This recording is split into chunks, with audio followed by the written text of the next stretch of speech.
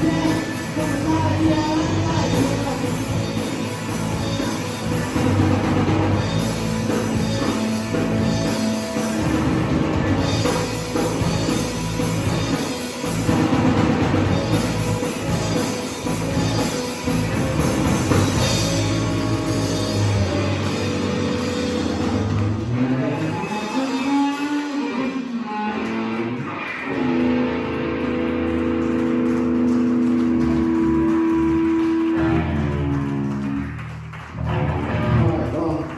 And we're gonna do our third song. It's just an instrumental. We haven't made any lyrics for it yet, but it'll be cool. It's gonna be like metal, so kind of a warning, you know.